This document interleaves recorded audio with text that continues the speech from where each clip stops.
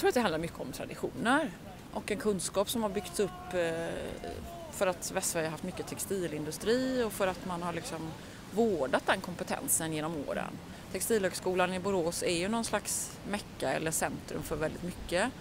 Och det finns väldigt många eh, modeföretag och eh, modeskapare och sömmerskor och alla olika yrkeskategorier som krävs för att nu då ställa om från en linjärt till ett mer cirkulärt tänkande kring textilier och det har vi försökt i Västra Götalandsregionen liksom bygga på.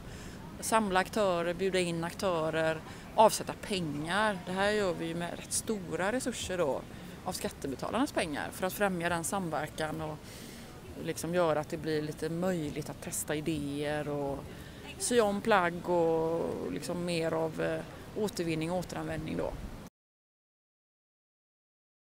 Nu har vi ju testat eh, det här samarbetet under några år och vi har redan blivit mycket bättre men det är klart att nu förväntar sig också konsumenten att det kommer ut liksom som en allmän egendom, en, all, en allmän tillgång till mer av återvunna kläder eller eh, cirkularitet i alla typer av produkter som man köper. Så det gäller på olika sätt att hjälpa företagen så att man orkar utveckla produkten och få ut den på marknaden också. Eh, och där kan ju inte skattebetalarnas pengar spela på samma sätt. Vi kan ju inte ge direkt företagsstöd. Eh, så det handlar ju kanske lite grann också om ett växelspel mellan eh, konsumentens medvetenhet och efterfrågan, att man, att man spelar på det lite mer. Börja nu efterfråga det här.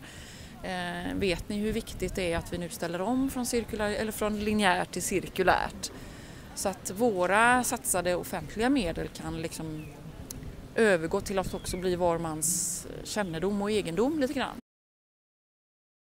Det är väldigt viktigt att vi som offentliga upphandlare kan ställa krav, miljökrav och också se till att vi köper in eh, möbler eller textilier eller eh, andra produkter i sjukvården eller i skolan eller äldreomsorgen och så att vi liksom blir som ett skyltfönster för det som ska hända hos allmänheten då.